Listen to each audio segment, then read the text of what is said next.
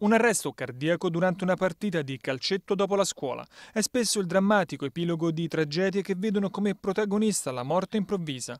Ogni anno sono mille gli under 35 in Italia ad esserne vittime, mentre nella popolazione adulta i decessi arrivano a 50.000. Ad analizzare questo fenomeno nel libro Il cuore dei giovani è Francesco Fedele, direttore del Dipartimento delle malattie cardiovascolari e respiratorie dell'Università Sapienza di Roma. È bene che inizino uh, al controllo e la prevenzione fino fin dalla, dalla, dalla giovane età perché ci possono essere delle situazioni invece di eh, malformazione cardiaca che debbono essere intercettate oppure delle alterazioni dell'attività elettrica cardiaca che possono essere messe in evidenza anche con un semplice elettrocardiogramma. Noi come Fondazione Italiana Cuore e Circolazione e i dati sono riportati nel libro, abbiamo già fatto 10.000 elettrocardiogrammi in tutte le scuole d'Italia e abbiamo visto che ci sono delle alterazioni elettrocardiografiche in circa il 20% dei casi. Ora non vogliamo allarmare nessuno, non è che il 20% dei nostri ragazzi sta male, per fortuna,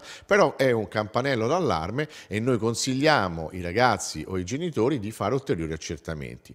Questi accertamenti mostrano che nella maggior parte dei casi per fortuna tutto sta a posto, però viene un 1, un 1,5% di casi in cui effettivamente troviamo qualcosa e l'intercettazione di questi, di questi ragazzi naturalmente fa sì che si eh, vengano adottati provvedimenti adeguati.